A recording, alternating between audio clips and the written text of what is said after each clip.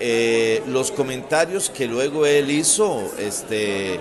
que ahí están, en ninguna forma eh, eh, son, no tienen nada de malo, por lo tanto no hay nada que señalar, que condenar. esto es una mala intención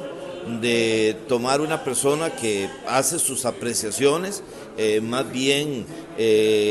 como lo pueden leer, él condena la violencia, la forma eh, este, de agresión y todo eso que no debe darse y que es también nuestra convicción.